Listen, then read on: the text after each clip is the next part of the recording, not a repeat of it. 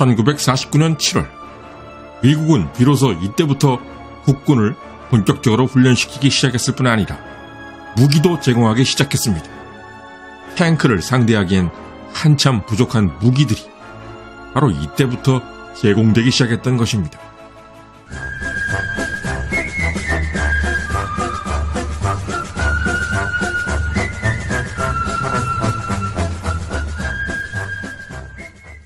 그동안 채널에서는 중공군에게 유독 약한 모습을 보였던 국군의 실체에 대해 다룬 바 있었습니다. 이 문제로 인해 미군 지부에서는 국군에 대해 대표적인 화력 지원 중장비인 호병 장비 지원을 망설일 정도로 국군에 대한 불신이 깊었습니다. 월튼 워커 미 8군 사령관이 갑작스럽게 교통사고로 사망한 후 한국으로 부임한 신임 미8군 사령관 리찌웨이. 이승만 대통령은 리찌웨이에게 우리에게 무기를 더 주시오. 우리 국민들을 무장시킬 충분한 무기만 있다면 우리 혼자서라도 북진할 수가 있어. 이승만의 이 말을 들은 리찌웨이는 아니 중공군만 보면 무기를 버리고 도망치는 바람에 우리의 값비싼 155mm 야포가 중공군으로 넘어간 게 면문인 줄 아십니까? 라며 오히려 이승만 대통령에게 항변할 정도였습니다. 미군이 이렇게 국군을 못 믿어워하며 불신감을 갖기 시작한 것은 사실 중공군 개입 이후부터가 아니었습니다. 미군은 중공군이 개입하기 전인 6.25 전쟁 초반부터 한국군에 대해 불쾌한 감정을 갖기 시작했습니다.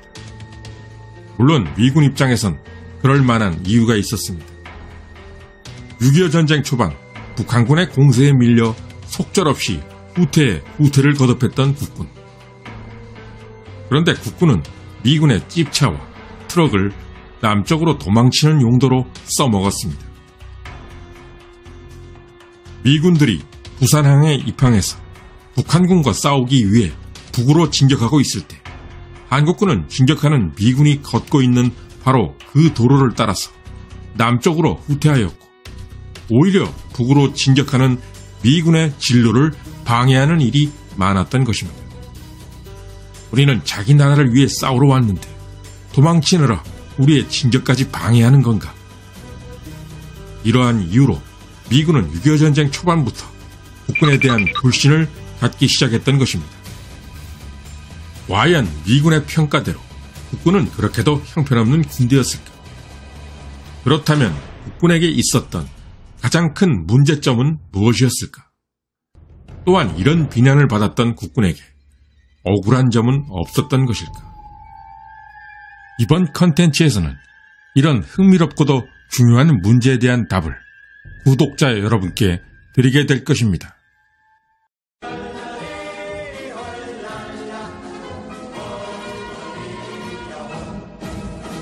구독자 여러분께 잠깐 정보 하나 드리고 가겠습니다. 여러분 집에 약정이 끝난 인터넷 또는 정수기가 있으시다면 연락 한번 해보시기 바랍니다. 인터넷 TV는 최대 47만원, 정수기는 최대 30만원, 합쳐서 77만원 현금 혜택이 있다고 합니다. 바로 인터넷 가전 렌탈 대리점 아정당입니다. 수익 일부를 불우이웃에 정기적으로 기부도 하는 사회적 기업이기도 합니다. 단 10분이면 받을 수 있으니까 아정당에 꼭 전화해보세요. 인터넷 정수기 알뜰폰은 아정당입니다. 6.25 전쟁 초반부터 한국군의 전투력은 미군들 사이에서 꽤나 논쟁의 여지가 많았습니다. 그 이유는 미군이 보기엔 황당할 정도로 국군의 전투력이 천차만별, 극과 극이었던 것입니다. 예를 들면 옹진반도에서 질서 정연하게 후퇴를 완료한 백선엽 장군의 국군 1사단, 그리고 춘천에서 북한군의 공격을 막아낸 김종호 장군의 국군 6사단. 이 부대들은 미군들 사이에서도 칭찬이 자자했습니다. 그러나 이 두 개의 사단을 제외한 나머지 다른 국군 사단들은 정신없이 후퇴하느라 바빴습니다. 이렇게 국군은 잘 싸우는 사람은 잘 싸웠지만 그렇지 않은 사람은 너무나도 형편없었던 극과 극이었습니다.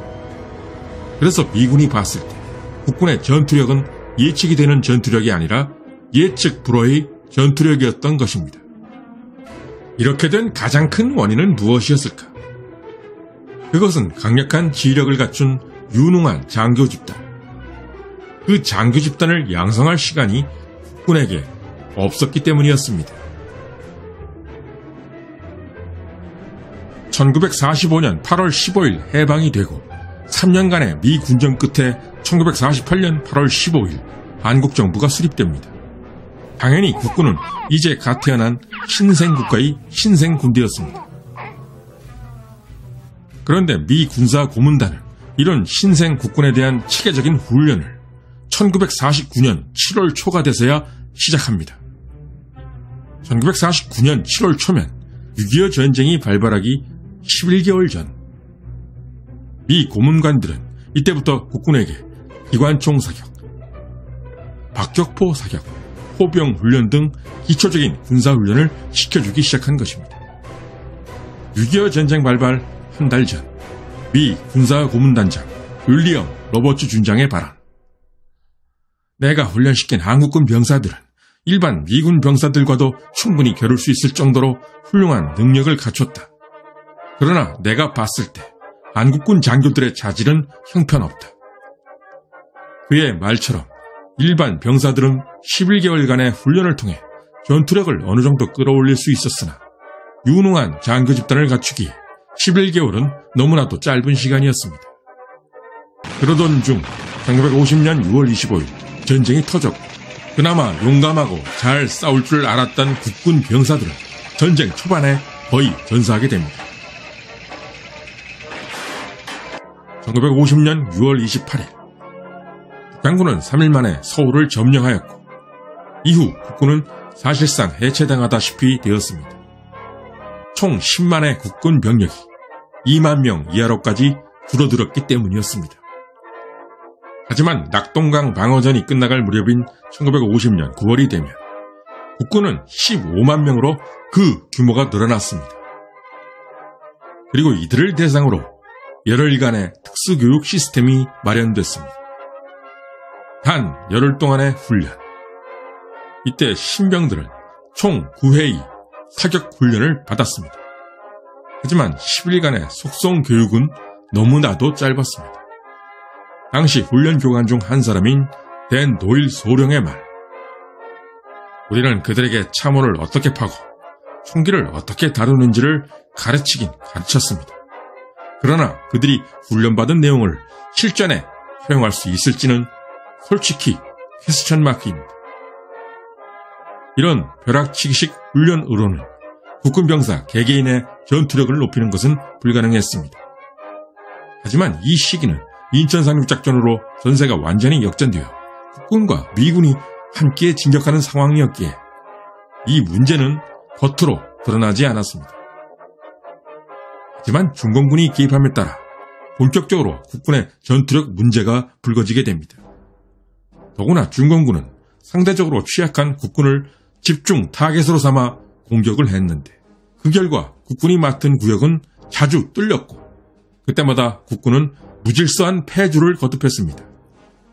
때문에 국군은 중공군의 공격을 견디지 못하는 군대라는 비난이 그때부터 꽤 심해졌습니다. 그러나 국군 입장에서 그것은 매우 억울한 비판이었습니다. 장비의 수준은 6.25 전쟁 초반보다 나았을지 몰라도 단 열흘간의 속성 훈련을 받았던 국군의 전투력은 오히려 6.25 전쟁 초반보다도 낮았던 것입니다. 이제 시청자 여러분은 국군이 왜 중공군에게 그렇게 유독 약한 모습을 보였는지 그 의문점이 조금은 해소되었을 것입니다. 그런데 국군이 이렇게 어려움을 겪게 된 근본적인 원인, 그 근본적인 원인은 전혀 다른 데 있었습니다.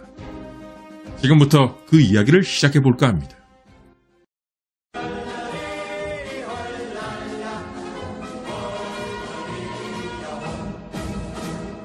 (1945년 4월 12일) 2차 대전이 거의 끝나갈 무렵 프랭클린 루즈벨트 대통령의 갑작스러운 사망으로 인해 트루먼은 갑자기 대통령이 됩니다. 부통령이 된 지 채 3개월도 안 되어 대통령이 되었으니 트루먼은 천운을 타고난 사람이었습니다. 트루먼은 20세기 이후 미국 대통령 중에서 유일한 고졸 출신 대통령이었는데 생긴 것과는 다르게 엄청나게 언행이 거칠기로 유명했습니다. 트루먼에게는 소프라노 가수인 딸이 있었는데 딸의 공연을 혹평한 음악 평론가 폴 흄에게 입에 담기도 힘든 막말이 담긴 편지를 보냈습니다. 트루먼 양이 매력적이지만 가창력이 개선되지 않았으니 앞으로도 노래를 잘하지 못할 것이다. 다음은 실제 트루먼의 편지 내용입니다. 언젠가 당신을 만나게 되길 희망합니다. 내 희망이 이루어져서 우리가 만나게 되면 당신은 코와 눈을 얻어 터질 테니까 뼈가 으스러진 코를 대체해야 할 새로운 코와 검게 피멍이 든 눈 부위를 마사지할 소고기 스테이크를 충분히 가져와야 할 거요. 그리고 아마 고환 보호를 위해 고무로 만든 보호대도 필요할 테니 그리 아시오. 이렇게 성질급하고 다혈질인 트루먼이었기에 원자폭탄 두 개로 일제의 항복을 받아냈고 6.25 전쟁이 터지자 맥아더의 건의에 따라 미 지상군 파병이라는 결단을 빨리 내릴 수 있었던 것입니다. 하지만 트루먼과 정책 입안자들은 대세를 읽는 글로벌한 전략적 감각이 부족했습니다. 1949년 여름 6.25 전쟁 발발 1년 전 트루먼 행정부는 한국에 주둔 중인 미 점령군의 마지막 부대를 철수시켰습니다. 대통령 이승만의 격렬한 항의에도 불구하고 미군의 철수가 끝내 완료된 것입니다. 미국이 이런 조치를 취했던 가장 큰 이유는 간단했습니다. 당시 트루먼 정부의 고위 정책 이반자들은 한국과 깊이 얽히지 않는 것이 최선이라고 느끼고 있었기 때문이었습니다.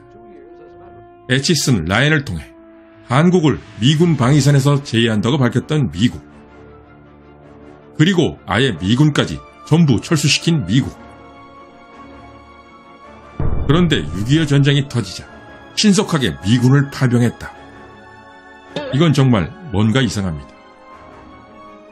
바로 이 수수께끼의 원인은 전략적 마인드 없이 왔다 갔다 하는 트루먼의 외교 정책이었습니다. 그런데 군사적으로도 트루먼 정부는 이것도 아니고 저것도 아닌 어정쩡한 행보를 보였습니다.